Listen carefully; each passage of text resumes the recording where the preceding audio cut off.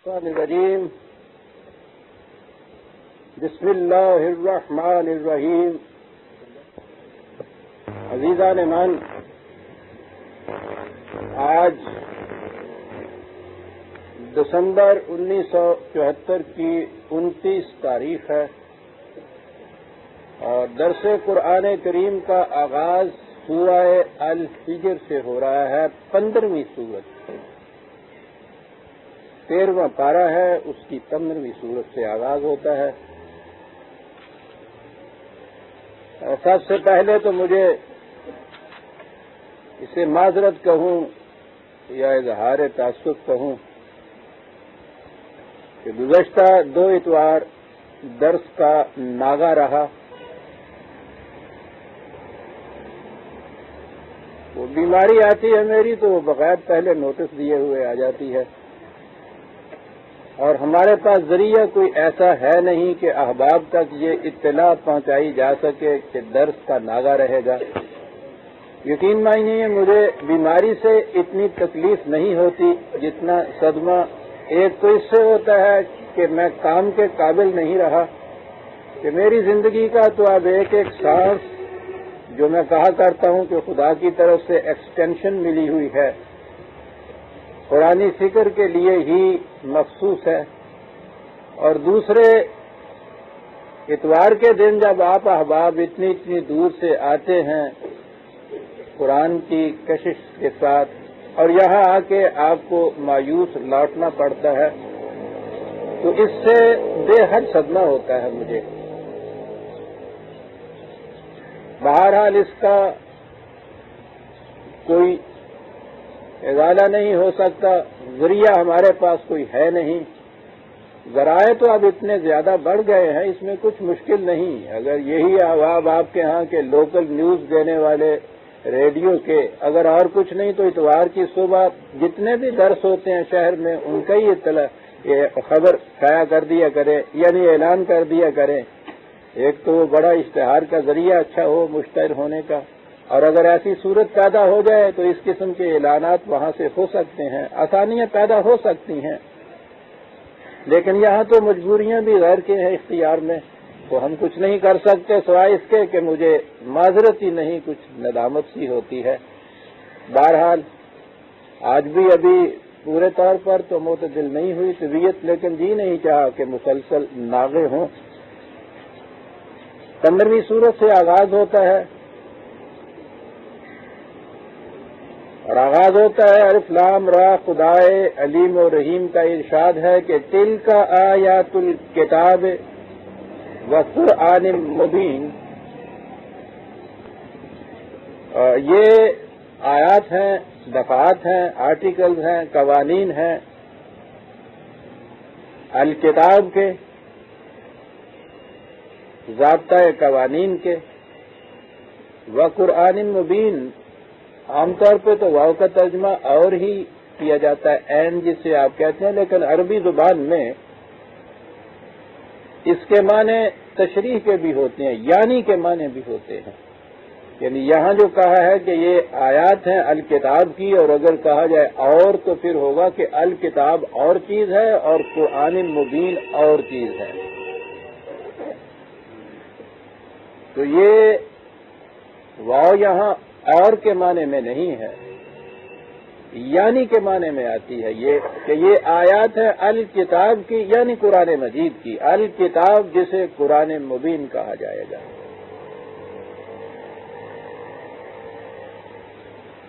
पिछली सूरत के आखिर में कहा यह गया था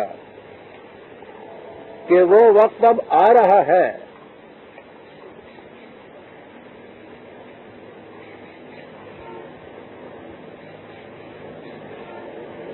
मोहलत का वक्फा खत्म हो रहा है।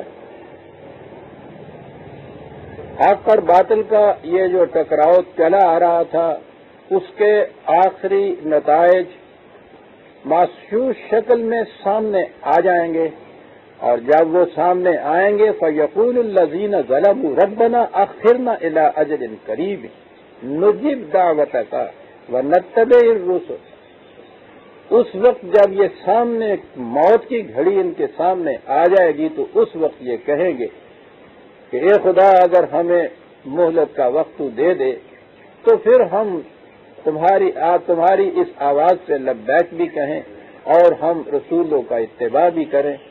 तो उस वक्त ये कहा जाएगा कि ये चीज़ उस जमाने में तो मुमकिन थी, जिसे मोहलत का वक्फा कहते हैं, और मोहलत के वक्फे के माने ये होते हैं कि अभी इंसान के पास काम करने के लिए, अमल के लिए वक्त होता है। बात यह नहीं है कि तौबा आपने की तो जी तौबा खुदा ने कबूल की और उसके बाद मर गए तो ये ताबा तो सिर्फ़ काफ़ी नहीं है। ताबा के बाद तो असलाहा कुरान में हर जगह है। ताबा के तो माने गलत रास्ते पे जो चल रहे थे, उससे और आगे कदम न उठाया जाए, रुक जाए आदमी, कि नहीं, ये रास्ता गलत है। मुझे इस पर नहीं चलना चाहिए। लेकिन वहाँ रुक जाने से तो इंसान सही रास्ते पे नहीं आ जाता। रुक कर खड़े हो जाने से तो मंजिल पे नहीं पहुँच जाता। अगर वहाँ ताबा के माने हुए कि उसने गलत रास्ते से अपने आप को रोक लिया और वहाँ आ गई मौत तो इस मौत से वो सही मंजिल पे ऊपर तो नहीं पहुँच सकता। इसलिए कुरान ने हर जगह ये चीज़ कही है। ताबा रुक गया और फिर वापस लौटा। इसमें दोनों बातें होती हैं। गलत रास्ते का एहसास करके आगे बढ़ने से रुकना और फिर वापस आना उस मकाम पे जहाँ से गलत रास्ते पे पड़ा था। ये सारा प्रोसेस जो है, ये ताबा का है। और इस मकाम पे आके फिर सही रास्ते के ऊपर चलना ये अगला कदम है अमल सालहात या असलाह का। तो ये दोनों प्रोसेस होंगे तो फिर इंसान मंजिल मकसूद तक पहुँच सकेगा। और अगर गलत रास्ते पे चलता हुआ एहसास हुआ, गलत रास्ता है, रुक गया तो मुजर्रद इस रुक जाने के तो वो मंजिल पे नहीं पहुँच सकता।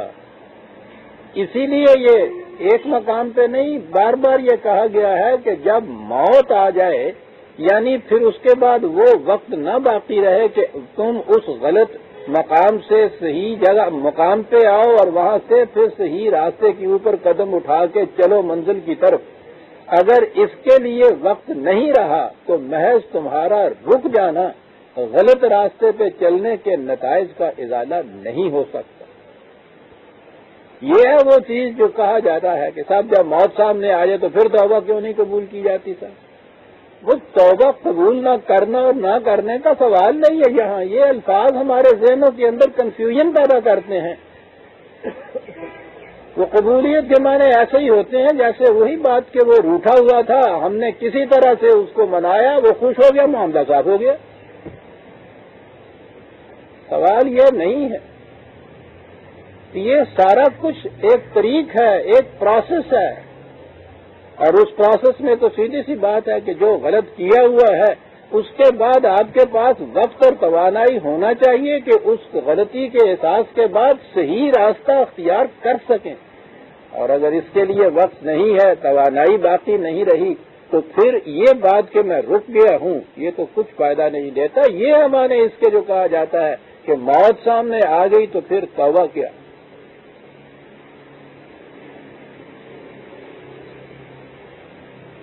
यहाँ इसमें आखिरी सूरा के आखिर में ये चीज़ आई थी और उसी को फिर यहाँ आगे कुरान चला रहा है। कुरान की तो ये सारी तरतीब भी एक तसलसल दिए हुए है। ये एट रेंडम नहीं है कि यूँ ही एक सूरत सी, फिर उसके बाद एक दूसरी आ गई, फिर वो जैसे ये कहा करते हैं, जी देखिए, अभी बनी इसराइल का किस्सा था और उसके बाद आदम का वाक्य आ गया उसके बाद कुरैश मुखातब हो गए उसके बाद हमसे कुछ कहा गया। यानी वो वैसे ही जैसे कि एक सिनेमा का फ़िल्म जो है, उसको काट काट के टुकड़े करके मिला दिए। कभी उठाया तो हाथ में घोड़ा आ गया, दूसरा उठाया तो मोटर आ गई। माजल्ला यह तो सवाल नहीं है। और तलिल कुराना तरतीला। ने कहा, ये तो ऐसे जिस तरह मोतियाँ वर्गे दंद जड़े हुए होंगे आगे। खूबसूरत तरतीबें होती हैं। तो कहा कि रुबमा जवद्दुल्लजीना कफरू, लो कानू मुस्लिमीन। उस वक्त ये लोग जिन्होंने मुखालफत की थी, इनकार किया था, यानी गलत रास्ते पर चलने का इकरार किया था। वो उस वक्त ये कहेंगे कि एकाश हम भी सही रास्ते पे चलते। यानी नज़र आता है कि इतना ऐसा नुमाया तौर पर तबाही सामने आ जाती है। ये बेसाख्ता पुकार उठता है ये भी। उस वक्त ये जो आना पिंदार नफ्स, वो ये चीज़ें हैं, ये सारी की सारी दब जाती हैं और तबाही का एहसास इतना शदीद हो जाता है कि बेसाख्ता पुकार उठता है। आदमी क्यों हो गलती होगी साहब? एक आश मैं भी लोगों के साथ होता है। एक आश मैंने भी सही रास्ता अख्तियार किया हुआ होता। कहा ये अनकरीब अब ये वक्त आ गया है कि ये लोग पुकार उठेंगे कि एक काश हमने भी ये किया होता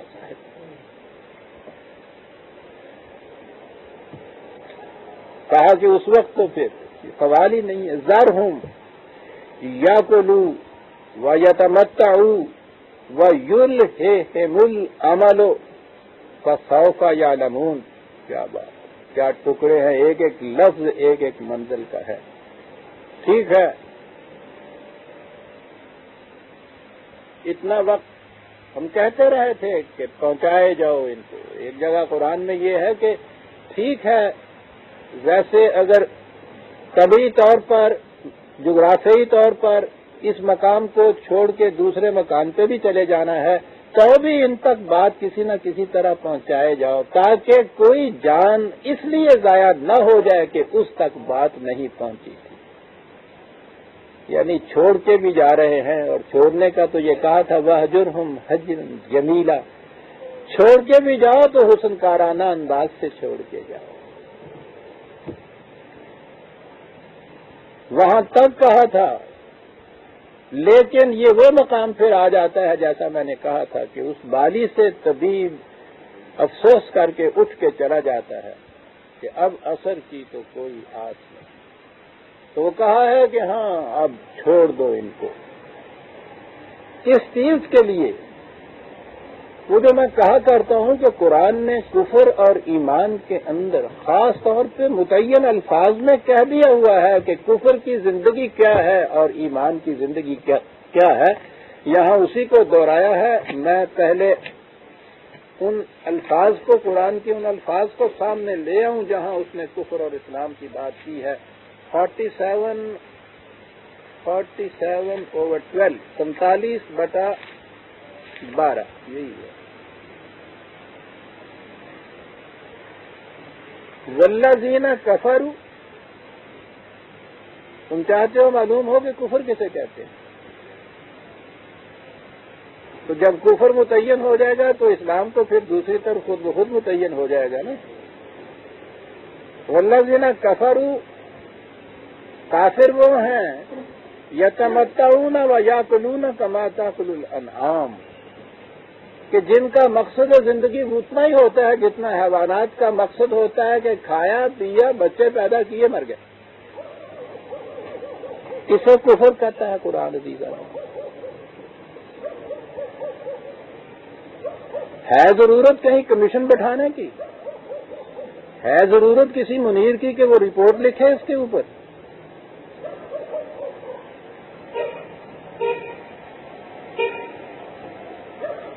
लेकिन हम लोग तो उस हबशी की तरह ये शीशा देखना नहीं चाहते कि उस शीशे के अंदर अपना ही चेहरा नज़र आता ये बात नहीं है कि समझ में बात नहीं आ सकती।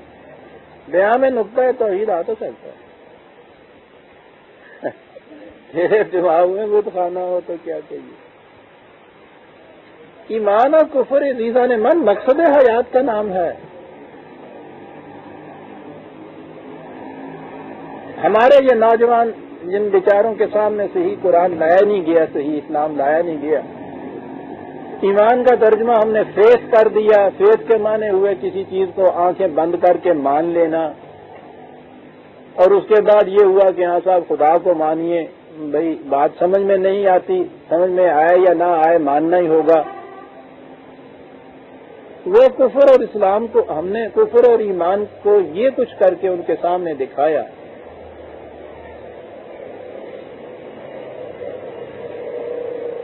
ईमान ज़िंदगी के नस्मुल ऐन या मकसद या मंजिल या डेस्टिनेशन के मुतयन कर लेने का नाम है।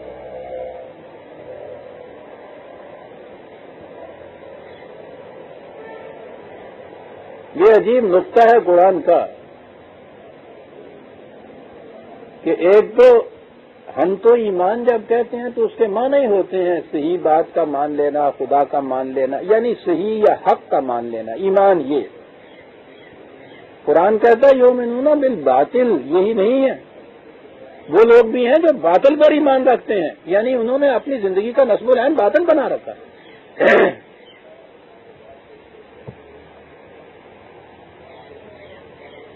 तो ईमान के माने हैं ज़िंदगी का एक मुतयन नस्बुलैन बना लेना। मकसद हयात पर्पज ऑफ़ लाइफ डेस्टिनेशन पहुँचना कहाँ है? कहा कि ये लोग जिनके सामने नस्बुलैन हयात इतना ही है कि कमाई की, खाया पिया, जाय से नस्ल की, उसके बाद मर गए। कमा ताकलुल अनाम कहा कि अगर यही नस्बुल है न इंसान का तो बताओ इंसान और हैवान में फ़र्क क्या है? बड़ी अजीब चीज़। तो ईमान जो है, अब ईमान में बिल हक कहूँगा, ईमान बिल्ला जिससे आप कहते हैं, मैंने कहा है, कुरान तो ईमान बिल बातल के लिए भी ईमान का लफ्ज इस्तेमाल किया है। एक नस्बुल ऐन ये है ना कि हैवानात की तरह खाया, पिया, बच्चे पैदा किए भर गए। ये भी नस्बुल ऐन है ना। इसे अपनी ज़िंदगी का मकसद या नस्बुल ऐन करार दे देना, ये है ईमान। लेकिन ईमान है बिल बातिल। और इसके ऊपर एक ईमान वो है कि जो हैवानी ज़िंदगी से उनकी सतह के ऊपर इंसानी ज़िंदगी इंसान बसर करने को अपना ईमान बना ले, यूँ कहिए।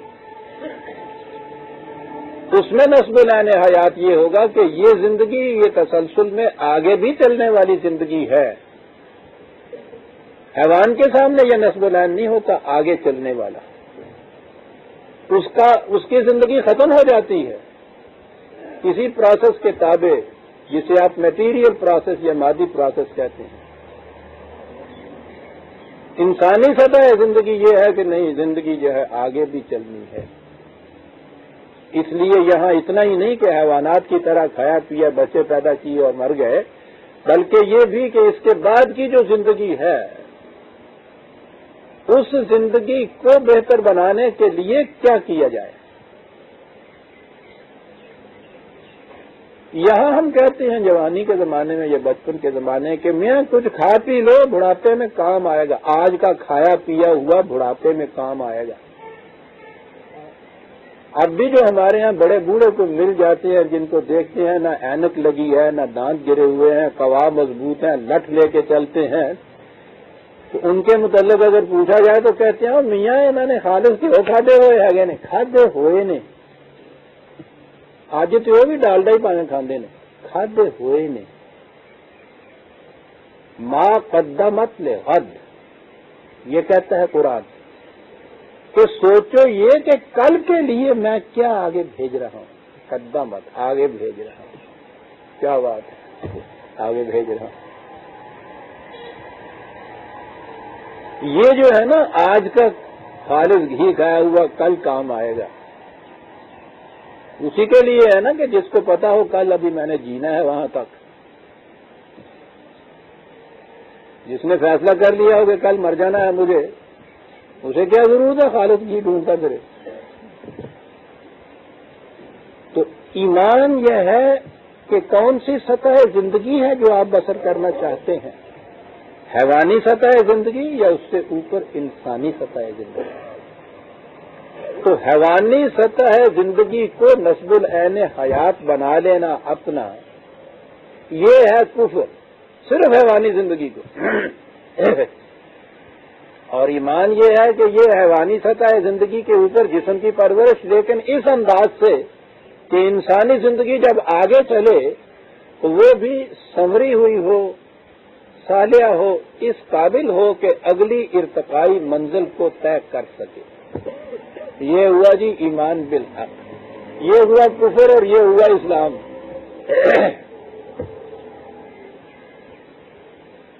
काजार हूँ। छोड़ दीजिए इनको अब। या कुदू वजह तो मत हूँ ठीक है। हैवानों की तरह खाएँ, पिए से नस्ल करें, मर जाए।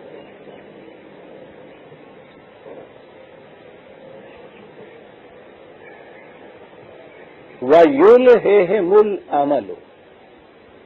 क्या बात। तो याद है आखिरी सूरतों में 102 सूरत जो है अल्लाह को मुतकासुर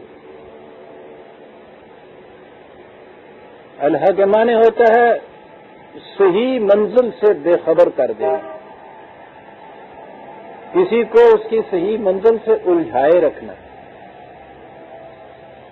गाफिल किए रखना। तकासुर ने इन्हें सही नस्बुल एन हयात से गाफिल कर छोड़ा है। किस चीज़ ने कर छोड़ा? तकासुर ने। तकासुर क्या है? हवानी सतह के ऊपर ज़िंदगी बसर कीजिए। क्या होगा फिर? जमा माला व अद्दा फिर नस नस लाने आयात ये रह जाता है कि दौलत जमा की और ननानवे के फेर में पड़ गए। अड्डा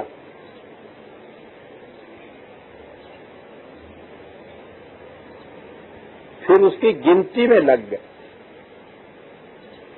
बस ये हुआ। ठीक है भाई, जिनके कुछ समझ लिया कि इतनी ज़रूरत है, उतनी पूरी हो गई है, अल्लाह का शुक्र है इतना खर्च है इतनी आमदनी है, वो आ गया है, चार पैसे बच भी गए हैं, पास अंदाज भी कर लिया कल के लिए, चलिए ठीक है। लेकिन उसमें आता है तकासुर। मैंने एक मकान बनाया है, इन्होंने दो बना लिए हैं। मैं क्यों ना दो बनाऊँ जनाब, मैं तीन बनाऊँ तो। इनके पास एक मोटर है, हमारे पास तीन होनी दो होनी चाहिए। तो हो गई है, तीन होनी चाहिए। तकासुर के माने एक दूसरे से बढ़ जाने की रीस। ये हवस। और हो ज़्यादा और हो ज़्यादा। कहा कि ये हैवानी ज़िंदगी से भी बदतर ज़िंदगी गिरी। उलाए का कल अनाम बल हम अदल यहाँ तक तो अनाम की ज़िंदगी मवाशी की रही। एक बैल जब पेट भर लेता है और दूसरा भी खा रहा होता है। तो इसके दिल में ये नहीं होता कि मैं उससे ज़्यादा खाऊं। जब उसका पेट भर जाता है इतमान से बैठ के फिर मज़े से जुगाली करता रहता है। हैवान तकासुर नहीं करता। वो ये नहीं होता कि दूसरे बैल से बढ़ जाने की अवस हो। उसको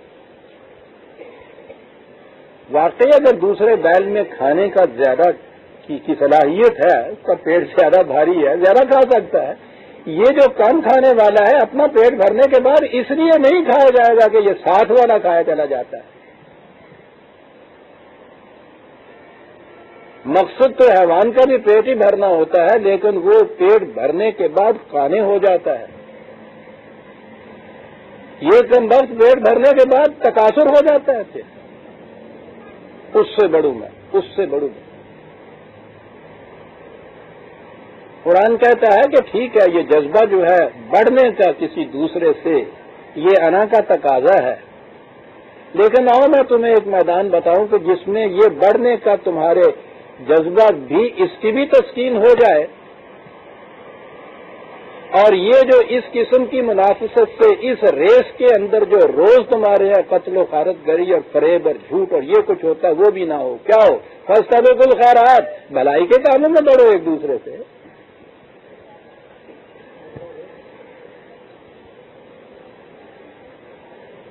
बढ़ो कौन रोकता है तुम?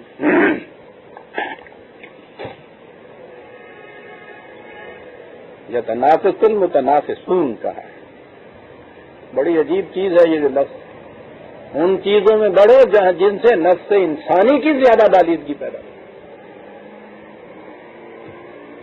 जिसम के मामले के अंदर तो सवाल ही नहीं है। दो रोटियाँ खा के पेट भरने वाला तीसरी खा ही नहीं सकता।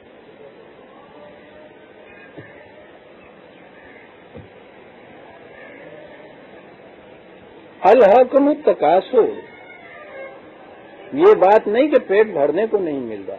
तकासुर आ गया फिर इसमें। इससे मैं बढ़ूँगा। उससे मैं बढ़ूँगा। कहा कि ज़रूरत जो है उसकी तो हद होती है। एक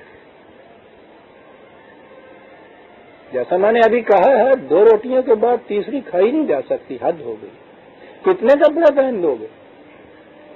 एक हद होगी। कितने कमरे चाहिए तुम्हें? उसकी भी हद होगी। अगर उस हद से एक लफ्ज आप आगे कहें, दुनिया हंसेगी। ने पूछा था कि ये कमरा कौन सा है क्या? कहने लगे, आपके सोने का कमरा है। कहने लगा, मेरे जागने का कमरा कौन सा है? जी, है ना सर दादी वाली बात। यानी ये ज़रूरत से आगे तो फिर मज़ाक हो जाता लेकिन तकासुर कुरान कहता है हत्ता सुर तुम मकाबर। कबर तक पहुँचने तक यह अवस नहीं, मिटती कम। हद इसकी कोई नहीं रहती। इसीलिए लफ्ज जो आता है, अलहाकुमुत यहाँ भी हुआ है, वह युल है मुल अमलो। इनको लगे रहने दो, यहाँ अमल का लफ्ज आया है। ऐसी ख्वाहिशात ऐसी उम्मीदें जिनका पूरा होना बड़ा मुस्तबद हो एक पूरी हो जाए तो उससे और आगे एक मुकर कर ले। फिर उसके पीछे चला है वो जो गधे के सामने वो कहते हैं वो लकड़ी से वो वो, वो गाजर लटका दी जाती है। वो है ना वो चीज़ के उसके सर से वो बाँध के एक लकड़ी और उसके सामने लटकाई जाती है गाजर। उस गाजर को खाने के लिए आगे बढ़ता है। वो बढ़ता चला जाता है गाजर आगे चली जाती है। हत्या ज़ोर तो मुल मकाब। इसे कहते हैं तकासुर अमल कहते हैं एक ऐसी आरज़ू को, जिसका इंतहाई दर्जे का पूरा होना मुस्तबद हो। वो उस गाजर की तरह सामने तो रो मुँह में कभी ना आए, चला जाए उसके चलता जाए उसके पीछे। कहा, जब सूरत ये हो गई कि नस्ब नस्बुल हयात हुआ, हैवानी ज़िंदगी खाना पीना, चाहे से नस्ल करना। और उसके लिए फिर ये नहीं कि ज़रूरत जितनी है, उतनी तक रहा जाए जैसा हैवान रहता है। वहाँ कैफियत हो अमल की। तकासुर हो नस्पुलैन और उसमें हो अमल के ऐसी आरजुएँ और ख्वाहिशें जिनका पूरा होना बहुत मुस्तबद हो, एक के बाद वो दूसरी आगे से निकल आए। तो कहा, ठीक है, जिन्होंने अपने लिए ईमान ही ये करार दे रखा हुआ है ठीक है। फसौफा या आलमून दूर की बात नहीं है। ये नहीं कि इसका फैसला जाके वहाँ सुनाया जाएगा। अभी मालूम हो जाएगा कि इस रवश ज़िंदगी का फिर अंजाम क्या हुआ करता है। इंसान ने अगर कहीं तनहा रहना हो और घरों में रहना हो, जंगल में रहना हो, एक आदमी ने, वहाँ क्या कर लेगा जी तकासुर?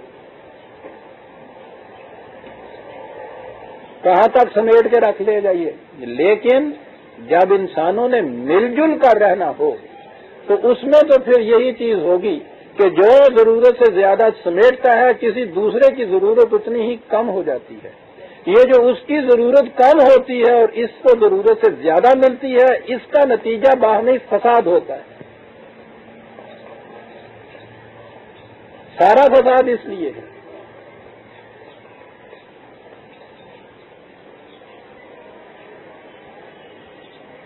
वरना कुरान ने जो कहा था कि सवालिन ये पैदावार जितनी भी है, जरूरतमंदों की ज़रूरत पूरी करने के लिए बराबर बराबर। ये जमा करने के लिए नहीं है। जमा मालूम दादा को कुरान ने बुरा कहा है। वरना माल को तो क्यामुल नाथ कहा है उसने दूसरी जगह। ज़रूरी है ये चीज़, इस पे कौन तो खड़ा होती है ज़िंदगी?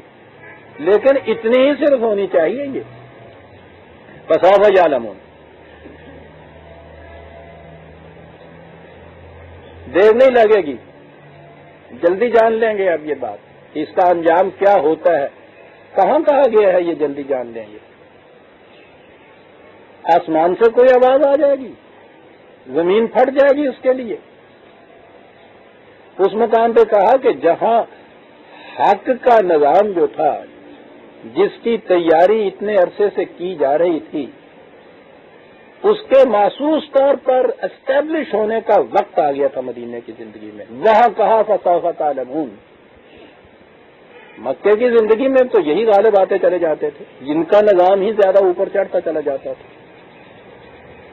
तो गोया हक का निज़ाम जब इस मंजिल पे पहुँच जाता है, जहाँ वो महसूस शक्ल में सामने आ जाए उस वक्त ये बातिल के निज़ाम वाले जो हैं, उनके मुतल कहा जाएगा फसौफ ताला अभी मालूम हो जाएगा इनको, और हो गया। एक पहली जंग बदर के बाद इनको मालूम हो गया था। इतने ज़ोर की आके पड़ी थी उनकी कैफियत, ये थी कि उन्होंने आके मक्के में फैसला किया था कि कोई रोए नहीं इसमें। शिद्दत थी ये उनके हाथ कि जिनके वहाँ मर गए हैं, उन मरने वालों पे कोई रोए नहीं कि इससे दिल बैठ जाएँगे। खैर, अभी मालूम हो जाएगा। लमा हलक न मिन करियतन इल्ला वलहा किताब मालूम। कहा जैसा कि पहले कहा जा चुका है। एक कानून हमारे यहाँ का मुकर है। और कानून है वो सकलत मवाजीन व खफत मवाजीन पलड़ों के झुकने और उठने का कानून है। जब तक सलाहियतों का तामीरी पलड़ा झुका झुका सा रहता है, तकरीबी पलड़े के अंदर भी पर्चियाँ पड़ती रहती हैं। उस वक्त अभी तबाही नहीं आती। जब वो वक्त आ जाता है कि ये पलड़ा झुक जाता है तो वो वक्त होता है उस कौम की तबाही का। इसे उसकी अजल कहा जाता है। मौत का एक दिन मुयन नहीं है।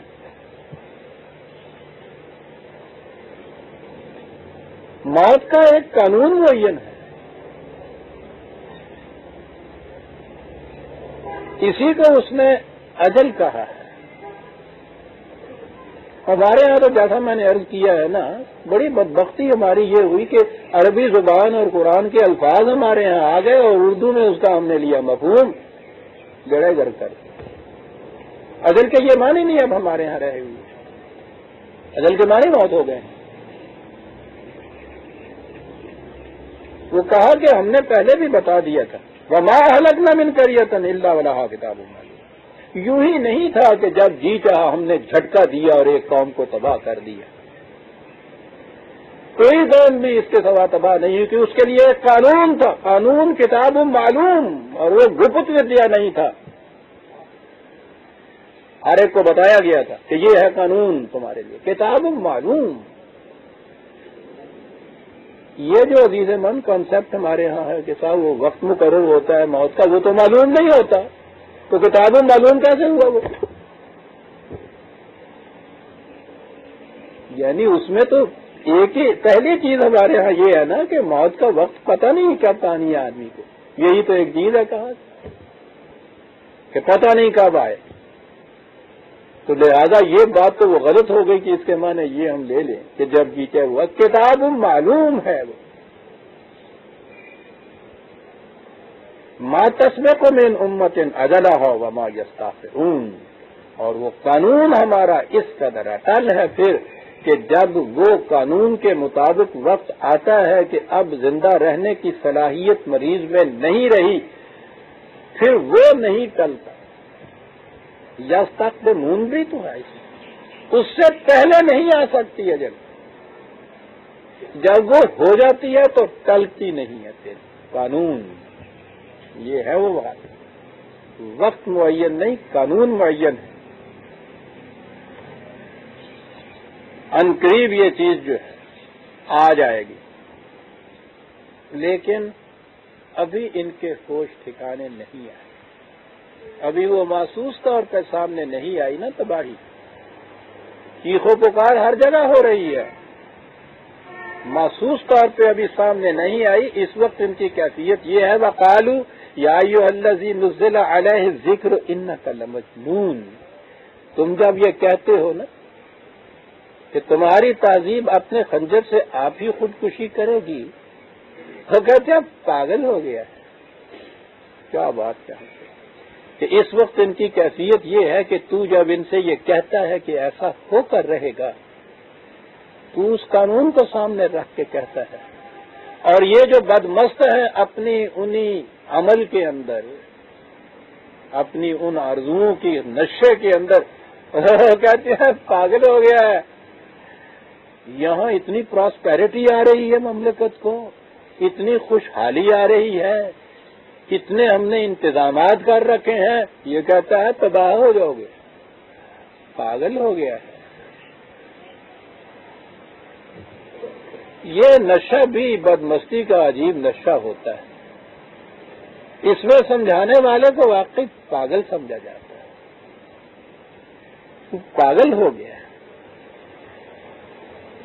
फिर वही दोहराते हैं, लाओ ताती न बिल मलायकतीन, कुंतम नस्वादीन कहा कि अगर तुम सच्चे हो तो वो हमारे सामने फरिश्ते आए, उन्हें हम देखें, फिर महसूस हो। कानून का काज एंड इफ़ेक्ट नहीं समझने की कोशिश करेंगे। कोई खार के आदत मोजा देख के फिर ये सब। वही जहालत की बात। अगर सच्चा है तो ये कर। कुरान क्या जवाब देता? वमान नजल मलाए के तो इल्ला बिलहक वमा कानू इजम मुंजरीन कहा कि वो फिर जब तबाहियों वाले फरिश्ते मलकुल मौत जिसे कहते हैं तेरा जब वो आया करता है ना तो फिर मोहलत नहीं मिला करती। फरिश्ता मांगते हैं तो ऐसे में फरिश्ता तो मलकुल मौत आया करता थे तो उसके बाद तो नहीं मोहलत मेरा करती। तबाहियाँ लाने वाले फरिश्ते जब आते हैं तो फिर मोहलत नहीं मेरा करती। इनसे कहो कि मत मांगो, मौत ना मांगो, अपनी फिर नहीं मोहलत मेरा करती।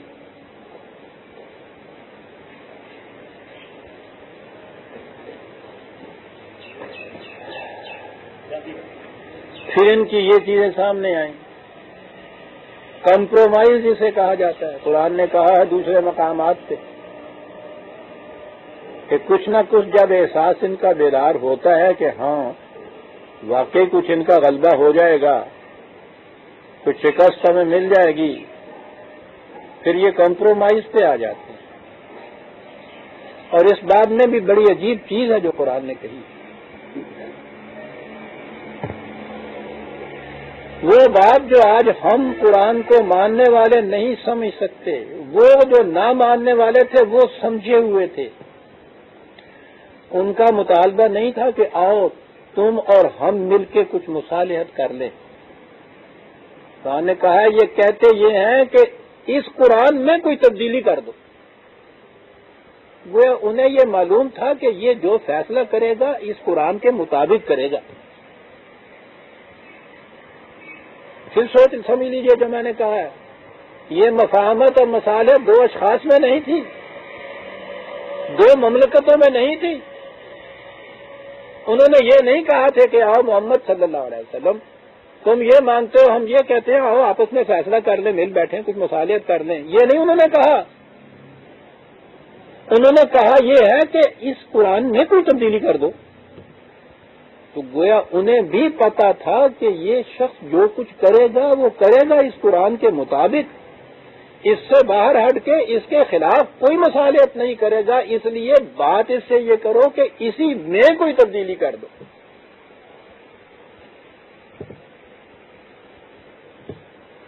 जैसे किसी ममलकत को मालूम हो कि ये ममलकत अपनी कॉन्स्टिट्यूशन के मुताबिक ही करेगी जो कुछ इन्होंने करना है। उसके खिलाफ जाकर हमसे कोई मसालत नहीं करेगी। तो वो कहेंगे ये कि तुम अपनी कॉन्स्टिट्यूशन के अंदर क्यों नहीं तब्दीली ये इतनी कर लेते? ये तब्दीली करो, फिर हमारे साथ मसालत आसान हो जाएगी तुम्हारी।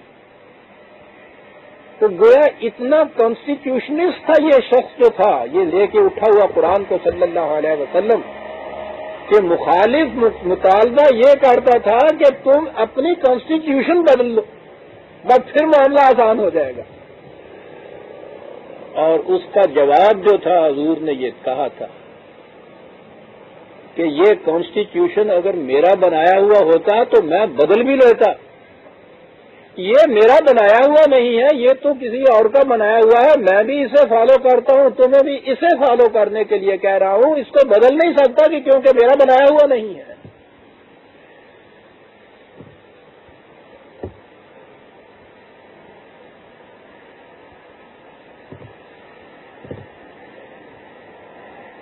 कि भाई ऐसा ही कॉन्स्टिट्यूशन है।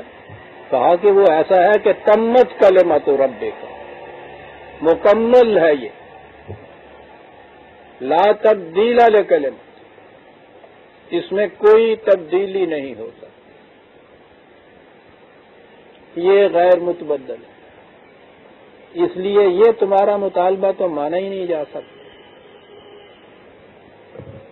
कि इसमें तब्दीली पैदा कर ली जाए। उनके जहन में ये आया होगा कि कोई बात नहीं, ये शख्स बहरहाल कितना ज़्यादा जिएगा? दो, चार, दस, पंद्रह वर्ष। किसी तरह से इसके साथ कर लीजिए। इसके बाद तो ये जो कॉन्स्टिट्यूशन है, ये जो किताब है, तब्दील होगी, उनके पास तारीख अपनी मौजूद थी। उन्होंने अपनी हर किताब में तारीफ़ की हुई थी ना। बदले हुए थे ना अपने कॉन्स्टिट्यूशन तो उन्होंने आपस में ये बात कही होगी कि कोई बात नहीं, इंतज़ार कर लो। छेड़छाड़ जारी रखो। सरेंडर करने की ज़रूरत नहीं है। इसे चले जाने दो। जिस तरह हर रसूल के जाने के बाद उसकी बदी हुई कॉन्स्टिट्यूशन या किताब जो थी, उसमें तब्दीलियाँ हो जाती थी, इसके अंदर भी तब्दीली इसके बाद हो जाएगी। और फिर हमारे लिए आसान हो जाएगा इस कौम के साथ मसालत कर लेना। आप क्या सोच रहे हो अपने जहन में? इन्ना नहन नजल ज़िक्र व इन्ना लहू लहाफिजून। मेरे खुदा ने इसे नाजल किया है, मेरी मौत और हयात का इस पर कोई असर नहीं पड़ेगा, वो इसकी हिफाजत करेगा। कुरान तक नहीं बदला जाएगा। जेन से ये बात निकाल दो। कल को इसमें तारीफ़ हो जाएगी।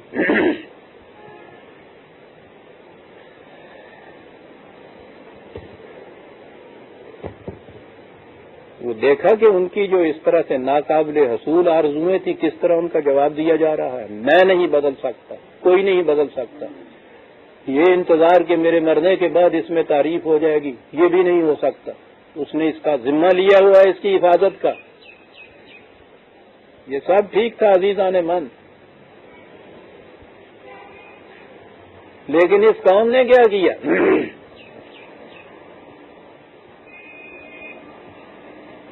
इन्होंने उस रसूल के चले जाने के बाद, ठीक है, इस कॉन्स्टिट्यूशन में तो तब्दीली कर नहीं सकते थे। इन्होंने कहा कि हमारी कॉन्स्टिट्यूशन सिर्फ़ यही नहीं है। मिसलोहू माहू इसी के साथ, इसी जैसे एक और कॉन्स्टिट्यूशन हमारे साथ। आओ, बताओ क्या चाहते हो? कॉम्प्रोमाइज बिल्कुल। इस कॉन्स्टिट्यूशन ने मलूकियत को मिटाया, उस कॉन्स्टिट्यूशन की रूह से मलूकियत के साथ मफाहमत की। पब्लिक अफेयर्स तुम्हारे, पर्सनल मामला शरीयत के मुताबिक हमारे। कॉम्प्रोमाइज है ना? है था इस कुरान की कॉन्स्टिट्यूशन में कहीं भी ये चीज़ कि पब्लिक लाज और होते हैं और पर्सनल लाज और होते हैं।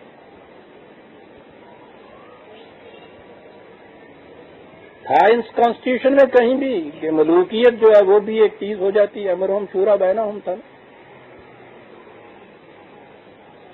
इन्होंने कहा कि उसके मामला शरीयत की हद से बाहर है सेकुलर हैं। ये चीज़ शरीयत के मुताबिक थी के लिए कही गई थी। शरीयत पर्सनल लॉज का नाम है, इसको फिका कहते हैं, इनको रवायात कहते हैं। ठीक है?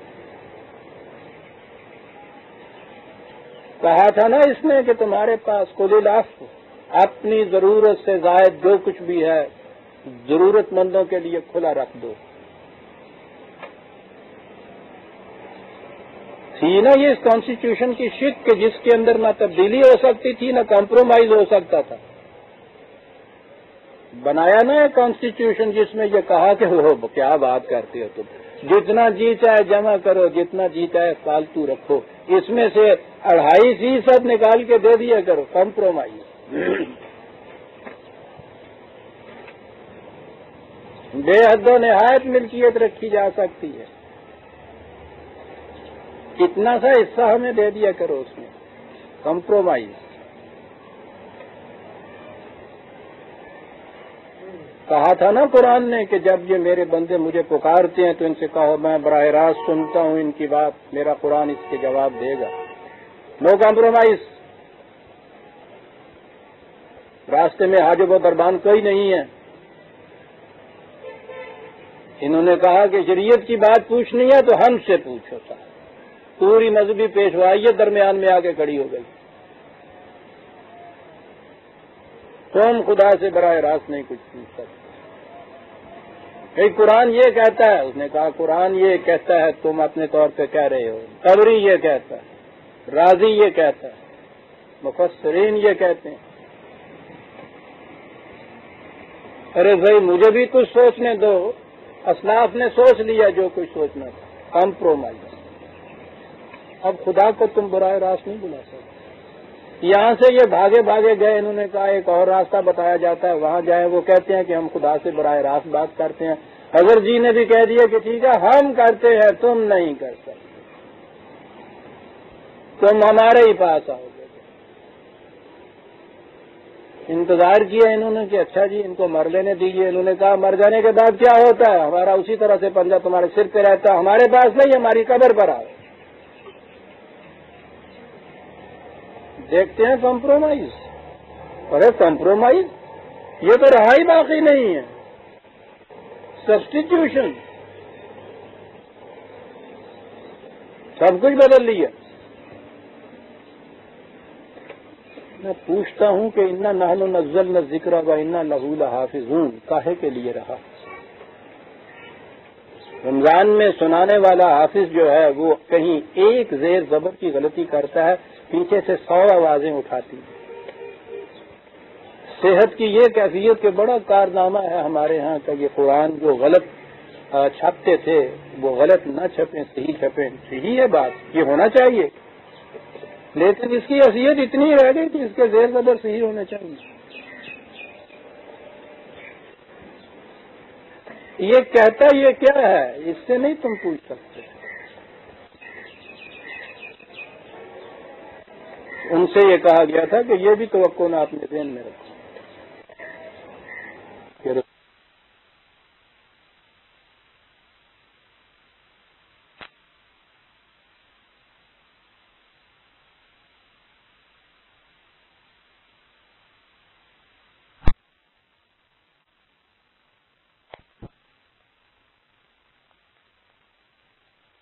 हक रख दोगे। जो ऐसा करेगा वो अपना ही कुछ बिगाड़ेगा, हमारा कुछ नहीं बिगाड़ सकेगा। कुरान की आयत।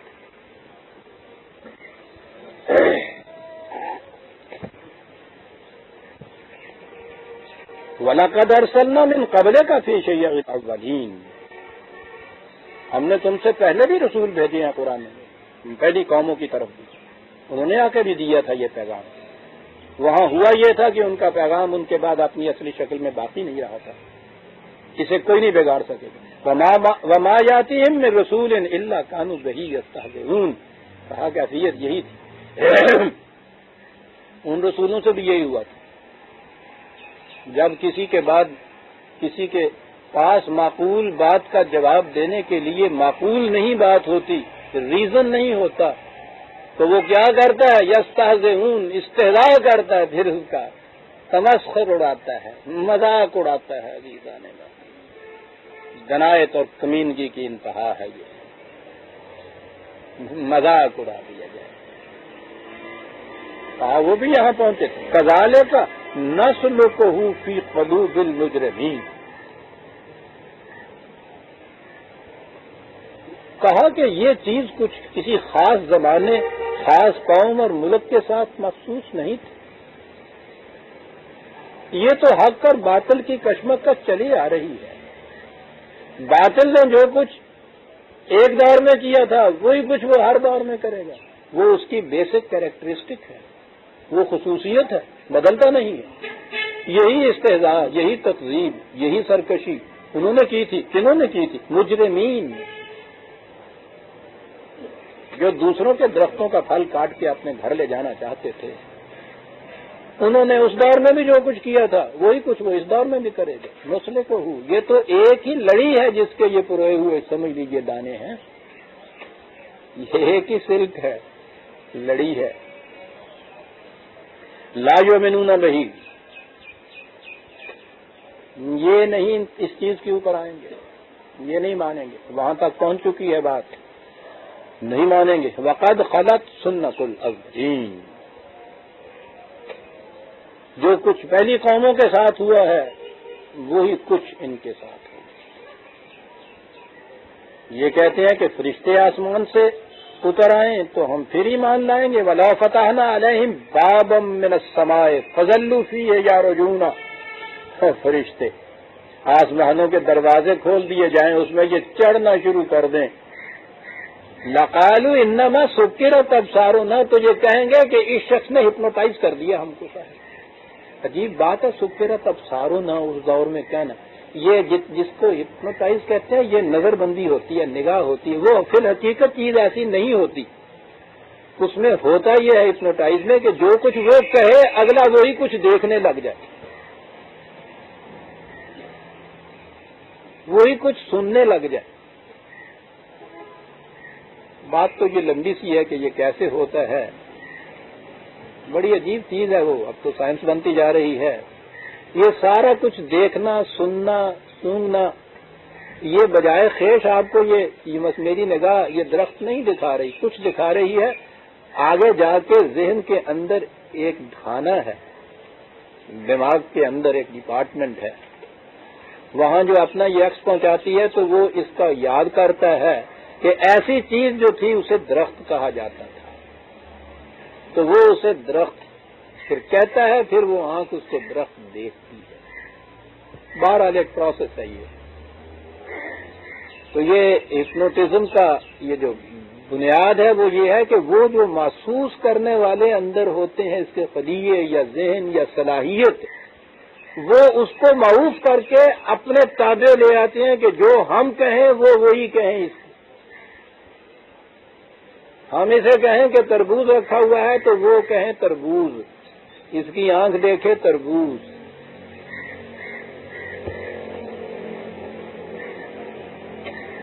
कुरान ने 1400 साल पहले ये लफ्ज इस्तेमाल की है सुख के रत अब सारोना। ये हमारी निगाहों पे इस किस्म का कुछ मदहोशी का पर्दा डाल दिया गया है कि बात हमें यूँ नज़र आने लग गई है। बल नहनो कौम मशहूरून, और इसका नाम सेहर रख दिया जाए। मन हरामी हुजता टेर वो कहा, बात ये है नहीं कि इस किस्म की चीज़ें देखने के बाद ये ईमान ले आने वाली बात है। वो तो इनके मफाद पे जद पड़ रही है, असल बात तो वो है। ये सब बहाने साजियाँ हैं जो ये कुछ हो रही हैं। और मैं फिर अजीजा ने मन ये अर्ज़ कर दूँ। वो जो बार बार कहा जाता है कि अंबिया कराम मुआवजा दिखा के लोगों के साथ मुआवजा लोगों को दिखाते थे।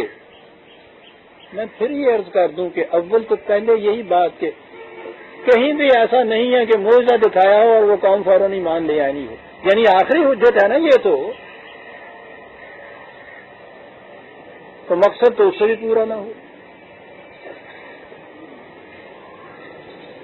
और नबी अकम सल्लाम के मुतलक तो सारे कुरान में ये है कि वो मुतालबा करते हैं, इधर से नफीक में जवाब मिलता है।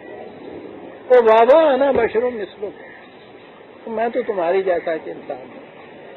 तरदीद करता जाता है कुरान इस बात की कि अगर इनकी कोई बात मान भी ली जाए तो ये उसके बाद भी ये नहीं है कि ये मुसलमान हो जाएँगे। तो खुद हमारे हाँ वाले भी अम्बिया सबका और अखबार गुजश्ता को तो छोड़ दीजिए ना। कि ऐसे ऐसे उन्होंने मोइजे दिखाए, उसके बाद भी वो कौम काफिर की काफिर रही। खुद आपके यहाँ भी जो ये कहा जाता है, इतना बड़ा मोइजा जिसे आप शक्ल कमर का कहते हैं कि ये चाँद दो टुकड़े होके आधा हिस्सा इधर से हजूर के निकल गया, चाँद का आधा हिस्सा इधर से निकल गया। मक्के में कुरैश के सामने ये हुआ। आप सोचिए तो सही और उसके बावजूद वो काफिर के काफिर ही रहे।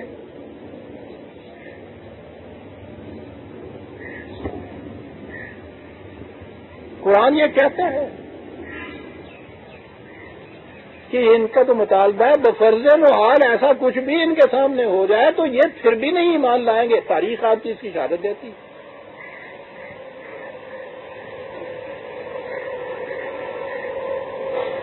ये शुरू से आखिर तक ये पैगाम खुदाबंदी के प्रोसेस से ही इख्तलाफ है, ये जो कहना है कि मुआवजा दिखाने के बाद ही मान लाया जाए। ये तो अपील ही अपने फ़िक्र को करता है। इसीलिए तरदीद किए चला जाता है इन चीज़ों आगे चलिए। ये कहते हैं कि ये जो चीज़ें कहता है कि याद रखो, इसका नतीजा ये होगा, कल को ये होगा। तो गोया ये कल को हमारी किस्मत बताता है, ये हमें इसी को किस्मत कहते हैं तकदीर बताता है तेरी किस्मत की लिखा है? तो हाँ हाँ तो।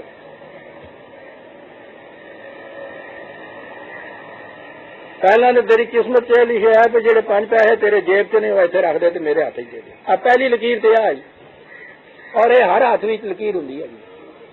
अब बाकी तो बदलियाँ भी होंगी हाँ पहली लकीर मुश्तरक होती। है जो तेरे है तो बनते ये तेरी तकदीर अटल है।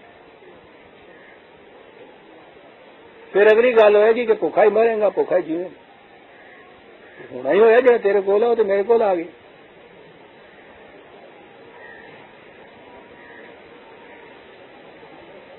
फिर वो कहता तो फिर की कहना तेन अल्लाह बहुत देगा। यानी जरा है तू मैंने दे तेन अल्लाह देगा। एनी होगा। वो भी ये कहा करते थे। और सुपरस्टिशन और तवाहमात के जमाने में तो ये फाल देखने वाले इस्तारा करने वाले, ये नजूम बताने वाले, किस्मतें बताने वाले, बहुत आ जाते हैं फिर तो उभर उभर के आते हैं। याद रखिए, जब भी लोगों के काम कायदे और कानून के मुताबिक न होते हों, रुकावटें होती हों, शरीफों के रास्ते में, फिर वो ये चीज़ें बहुत उभरती हैं। फिर वो बेचारे मुकद्दर के लिए फिरते रहते हैं और बाबा कानून कायदे की रूह से तो कुछ नहीं बना। तू बता दे कि मेरी किस्मत में कुछ है भी या नहीं।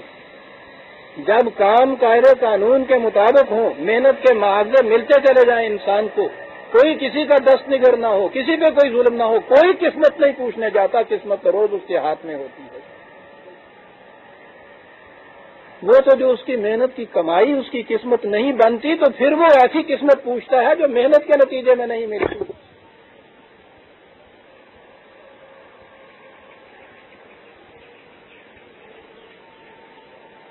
ये जितने बादल के निज़ाम होते हैं, उसमें ये नजूम अफाल और इस्तारे और ये सब चीज़ें उभरती हैं। जिन जिन कौमों में बाद में ये कायदा और कानून आता गया, आप देखिए, वहाँ ये नजूम वगैरह सब खत्म होते चले गए। अभी चंद सदियाँ पहले यूरोप में हर मोहल्ले, हर गली, हर मकान पे ये बैठे हुए होते थे। ये विचेज जो है, आपके यहाँ की वो पूछो नहीं, जादूगर नहीं है।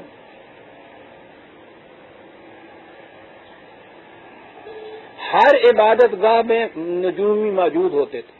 काहिन कहते थे उनको। यहूदी तो उनको भी अंबिया कहते थे अपनी, खबरें बताने वाले।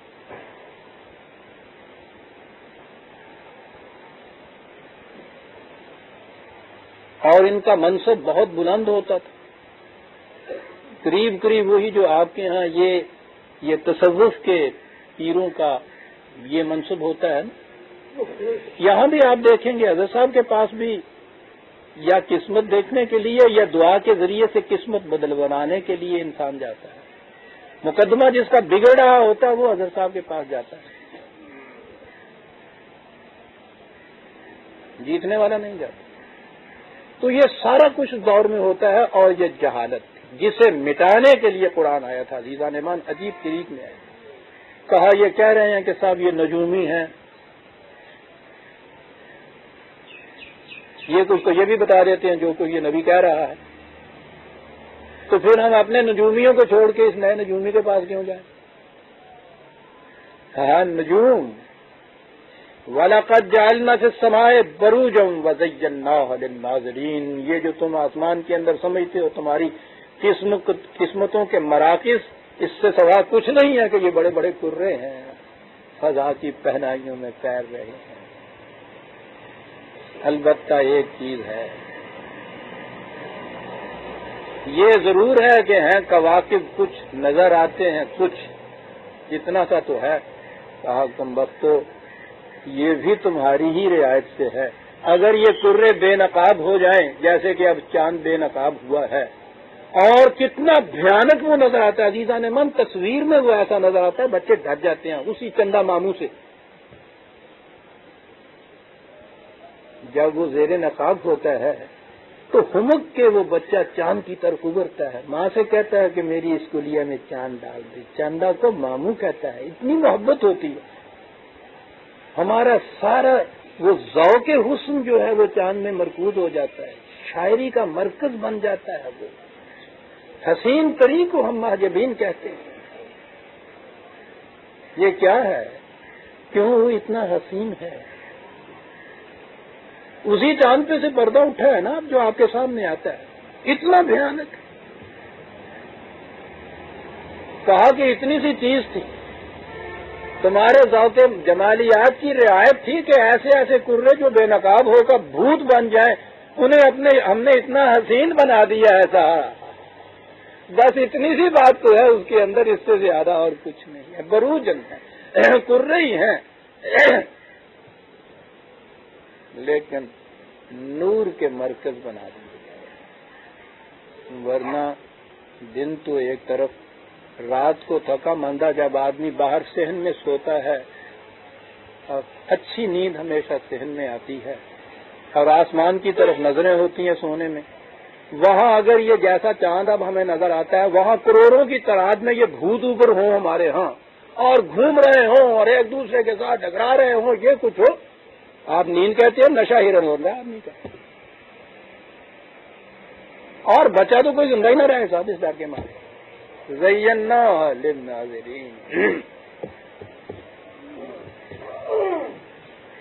कहा ये इनकी कैफियत है? कुर्रे हैं। बस हसीन बना दिए गए हैं तुम्हारी साथ और कुछ नहीं है।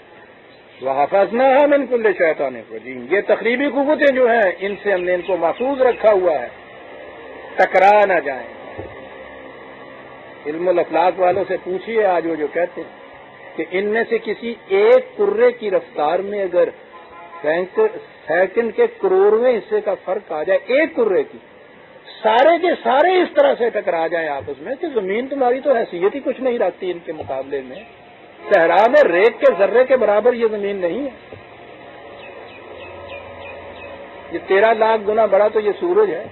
इतनी सी टिक्की नज़र आता है जो महफूज रखा है। कहा है, अब ये चीज़ इनकी रही। कहा, ये सब प्यास आ रही हैं। अटकल बच अंधेरे में तीर चलाना जिसे कहते हैं। इल्ला मनिस तरह का समा का अतबाहू शहाब मुबीन। कहा, इसमें सारी चीज़ जो फ्रेब की है, वो यही है कि ये जो कभी कभी बात इनकी सच निकल आती है। बिल्कुल ये चीज़ है। जिसकी मुराद पूरी हो जाती है, वो पूछो ना, कितनी फिर डुगडुगी देता है, पीर तुर्त मुराद की भी, ज़िंदा की भी, मुर्दा की भी चूरमा ने सिर ते रखिया ਹੁੰਦਾ ਤੇ ਪਿੰਡ ਦੀਆਂ ਸਾਰੀਆਂ ਨਾਲ ਲਈਆਂ ਨਹੀਂ ਮੈਂ ਪੀਰ ਮਨਾਉਣ ਚੱਲੀਆਂ ਵੇ ਪੀਰਾ ਮੁਰਾਦਾਂ ਵਾਲਿਆ ਤੇਰੇ ਗਾਲ 'ਚ ਟੱਲੀਆਂ ਮੇਰੇ गाल 'ਚ की वो संग चलिया है ਹੁੰਦਾ हैगा प्रोपे झंडे का उस दौर में यही तरीका होता था रेडियो रेडियो तो होता नहीं था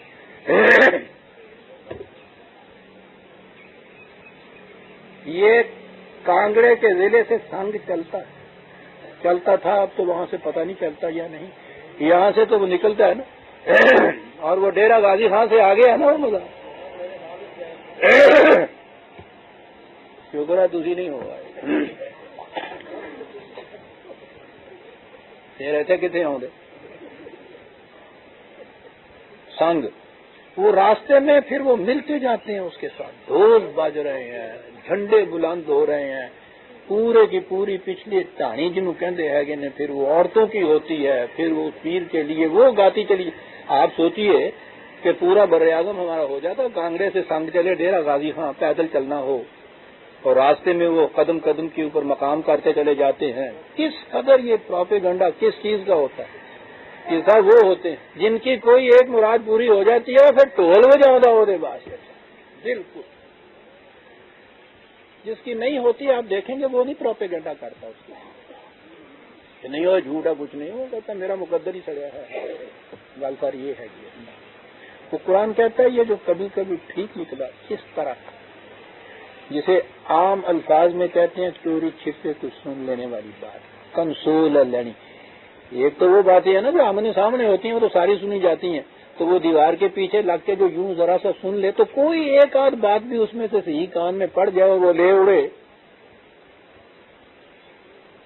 कहता है इन कयास आराइयों में कभी कभी ये हो जाता है। कुरान में ये भी आय, ये आयत यहाँ भी आई है अजीजा ने मन दो चार और मकाम पे भी आएगी। लफ्जी तर्जमा जो इसका होगा उसमें ये किया जाता है कि साहब शैतान जाते हैं आसमान पे सुनने के लिए। तो वहाँ से इनको फिर बड़े बड़े शोले आग के इनको मारे जाके नढ़ाओ लगे होंगे रेगुलर पुलिस पे फोर्स पे, ये फेडरल पुलिस वाले डंडे हाथ में लिए हुए भगा रहे हैं इनको, उधर भगा रहे हैं, ये इधर से आ रहे हैं कि ये जाते हैं सुनने के लिए और वहाँ से इनको आग के शोले मार पड़ते हैं। वो कौन से शोले? अब जो तारा टूटता है ना मिटे और कहते देखो, होर पे आज किसी शैतान में शोले लफ्जी तर्जमे के एतबार से ये माने इसके किए जाते हैं। चला आ रहा है। ना तो उन अरबों से हम पूछते हैं कि भाई तुम बात क्या करते हो? ना कुरान से ही पूछते हैं। आइए कुरान से पूछ के आपको बताएँ। मैंने कहा है कि ये बात हो रही है उनके उन कहनों की, उन नजूमियों की, जो उनके मंदिरों में बैठे हुए, उनकी खानकाहों में बैठे हुए उनकी कब्रों पे बैठे हुए किस्मत का हाल बताया करते थे, गैब की खबरें बताया करते थे। कभी कभार उनमें से एक आप ठीक भी निकलाया करती थी। कुरान ने आकर क्या कहा? क्या इनकलाब लाया अजीम चीज़ है अजीजा ने मन यही जिसका तर्जमा ये किया जाता है कि ये जो शोले पड़ते हैं, आग के, इन शैतानों को मारा जाता है। सूरह जिन सेवेंटी टू। बहत्तरवीं सूरत। अब बात यहाँ से फिर वो शुरू हो जाएगी। आप कहेंगे कि साहब ये तो जिन्नों के मुतलक है कुछ। हाँ ठंडा हो गया। कहीं से गर्मी नहीं हाँ थोड़ी देर के बाद। इस नलके से गर्म मिल जाएगा? जी हाँ वो ठंडे से हो जाती है। हो जाएगी खराब।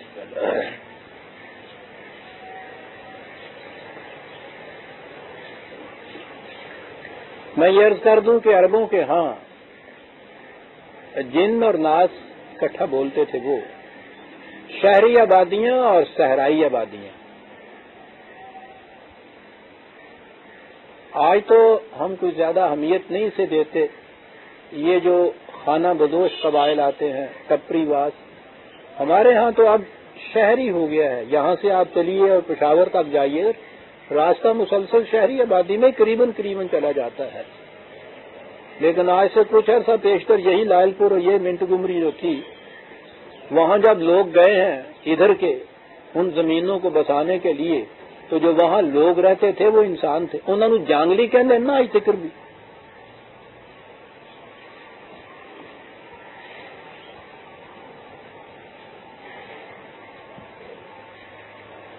अरबों के तमदन में तो शहर होते ही कहाँ थे? वहाँ तो अब भी जाइए अगर मक्का और उसके बाद तायफ उसके करीब, या रियाज, वो भी अब बताया हुआ, तायफ पुराना है। तीन सौ मील के फासले पे मदीना। और मदीना इस वास्ते ही ना रखा कि शहर, मदीने में माने शहर। अब पिंड वाले कहने, ना कितने गया? शहर गया?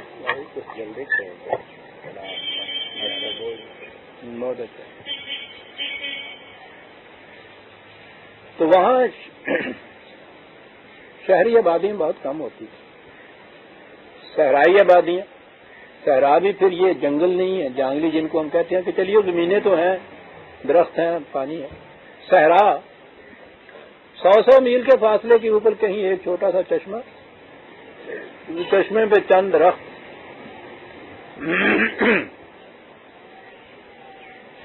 थोड़ा सा घास पाँच सात घर वहाँ ये एक कबीला। पानी भी वहाँ मुस्तकिल नहीं। चश्मा खुश्क हुआ, वहाँ से उन बेचारों ने खाना बदोश कंधे पे रखा घर, फिर चल पड़े। जहाँ कहीं फिर पानी नज़र आया, फिर वहाँ चले गए। इन लोगों का रहन सहन तर्ज ज़िंदगी माश मीश सब कुछ इनसे मुख्तलिफ़ होता था। बस कभी कभी उनमें से जैसे ये हमारे यहाँ के वो आया करती थी ना टपरी वासों में से, कभी कोई छनकना ले लो कोई चनूकड़ा ले लो कोई कुछ छोटी छोटी सी चीज़ें बना के खिलौने, ये कुछ लेके छाछ, छाननी, घरों में आ जाती थी, यहाँ से उन्होंने किसी से आटा ले लिया, कहीं से कोई कपड़ा ले लिया। बैन ही ये सूरत वहाँ होती थी। कभी कभार इनमें से जाते थे, ये लोग वहाँ जाते थे, शहर वाले उनकी खजूरें ऊँट कोई खरीदना हो, वो उनसे ले लिया, बकरी कोई खरीदनी हुई, वो शहर में आ गए, नमक ले लिया उन्होंने, यहाँ आके या कुछ बस इतना ताल्लुक आपस में होती ये जो आबादी बाहर की होती थी, उसको जिन कहते थे, अन्नास के मुकाबले में। अन्नास के माने ही है जो मुआनसत रखें एक दूसरे के साथ। जिन हो, माने लफ्जी हैं, आँखों से ओझल आबादी तो जिन और वन नास उनको कहते थे। ये सूरह जिन जो हैं, बदवी कबाइल हैं, सहराई कबाइल जो हैं, वो आए हैं। और उन्होंने आन के कहा कि कुल ऊहिया इलैया अन्ना हुस्तमा नफरम मिनल जिन्ने, फ़कालू इन्ना समीना कुरान नाजाबन ये इस कुरान को सुन के गए हैं, अपने यहाँ जाके कहते हैं कि आज हमने एक अजीब व गरीब चीज़ वहाँ सुनी। और फिर उसने कहा है यह दी रुशदे फ़ामन्ना बही। तो वो तो वाकई बड़ी सही रास्ते की तरफ़ रहनुमाई देता है। हम ही मान लाए हैं उसके ऊपर। सीधी सी बात।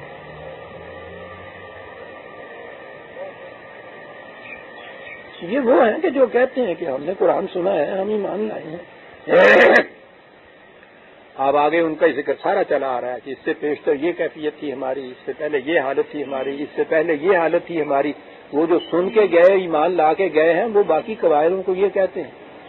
और उन्हीं में ये कहते हैं, ये लोग तो नज़र आता है कि ये उनके जरा बड़े बड़े कोई मजहबी पेशवा, कोई मोतबर लोग थे जो आए होंगे। ऐसा ही नज़र आता है कि मीले वालों ने भेजा ही इनको होगा। वो कहते हैं कि वह अन्ना लमसनत समा फवजद ना मुलेत हरसन शदीदन व शोहबम व अन्ना कुन्ना नकदो मिनहा मकायदा लिसमे फमई यस तमिल आना यजिद लहू शहाबर रसद कि भाई ठीक है इससे पेशतर तुम हमारे पास आते थे हम भी आसमानों की बातें तुम्हें कहा करते थे सुनाया करते थे इधर उधर की खबरें तुम्हें दिया करते थे लेकिन बाबा अब जो हम उसे सुन के आए हैं अब तो कैफियत ये है कि अगर इस किस्म की कोई चीज़ हमें कर, हम कहें तो उसके इल्म का एक सहाबे साकिब हमारे पीछे दौड़ता है अब दौर चला गया। अल आना अब ये नहीं हो सकेगा आप जाओ, हम न नजूमी है, न हम खबरें देने वाले हैं, न हम वो वो वो गैबदान है। नहीं, अब बात वो खत्म हो गई। पहले ये सूरत थी कहता है कि अन्ना लमसन समाज ऐसे कहते हैं। सच जानिए, हमने वो टटोल लिए हैं जहाँ जहाँ से हम खबरें लाया करते थे। अब वहाँ किसी की रसाई नहीं हो सकती, बाबा, हम नहीं तुम्हारी कोई खबरें गायब की दे सकते। अब वो बात खत्म हो गई। अब अगर कोई जाने की कोशिश करेगा और तुम्हें बहकाएगा तो याद रखिए अल आन अब अगर ये चीज़ कहेगा तो अब इलम की रोशनी उसका पीछा इतना करेगी, याद रखिए, कि भगा छोड़ेगी वहाँ से, अब दौर गया वो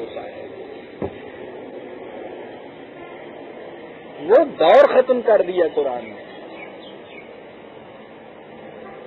वो वहाँ के काहन और नजूमी खुद कुरान सुनने के बाद आकर अपने कबीले से कहते हैं कि ठीक है भाई, पहले हम ये सब कुछ किया करते थे। लेकिन ईमानदारी की बात यह है कि अब वो दौर खत्म हो गया। हम कुरान सुनाए शायद एक ही दफ़ा सुना होगा अभी उन्होंने। उन्होंने कहा कि दौर खत्म हो गया। अब इल्म का दौर आ गया है। अब ये तवाहम परस्तियों का जमाना खत्म हो गया। ये था जो कुरान ने कहा। अब अगर ये चीज़ें को कह के मुद्दई इसका होता है तो उसके पीछे तो फिर इलम का एक आज की कोड़ा उसके पीछे आता है। रोशनी इतनी तेज आती है कि उसके बाद तारीखियाँ सारी कपूर हो जाती है। अब वो दौर खत्म हो गया है। लिहाजा नबी कहता है कि मैं जो तुम्हें ये कुछ बता रहा हूँ तो ये वो नजूम की किस्म की बात नहीं है। ये कहानत नहीं है। ये फाले लेने वाली बात नहीं है। ये तो एक इल्म यकीनी इल्म है जो मैं तुम्हें दे रहा हूँ। कयास नहीं है, जन नहीं है, वो दौर खत्म हो गया। यकीनी चीज़ है। और इसके लिए जो मैं शवाहिद और शहादतें पेश कर रहा हूँ। नजरी दलाइल भी हैं। और मैं तो इस कायनात में जो कानून खुदाबंदी इस तरह से मशहूद है, इस तरह कार फरमा है, उसके मजाहर को तुम्हारे सामने पेश कर रहा हूँ। ये जिन्हें तुम आसमान और वहाँ से आने वाली खबरें कहते थे, कुर्रे हैं जयन्ना वल अर्जा मददना ज़मीन की तरफ़ आओ, तुम्हें मैं बता रहा हूँ, आसमान की बातें क्या कर रहे हो तुम? आओ, ज़मीन पे रहते हैं हम, ज़मीन की बातें करें। मैं ये बताता हूँ कि ज़मीन में तुमने रहना कैसे है? छोड़ो आसमान के किस्से जो तुम लिए फिरते थे, वो दौर खत्म हो गया। अब ज़मीन की बातें हम करेंगे। वाल अर्दा मदद ना ठीक है शेख साहब ने, ये खत्म कर दो, तुम्हारे असर हो रहा है। गले पे असर हो रहा है चीजान मन तो दस पंद्रह मिनट बाकी हैं। इतनी सी मोहलत माँगता हूँ, सूरह अल हिजर की आयत उन्नीस, अठारह तक हम आ गए। उन्नीसवी आयत से आइंदा लेंगे हम। रबना तकबल मिलना इन्ना का अंत समीम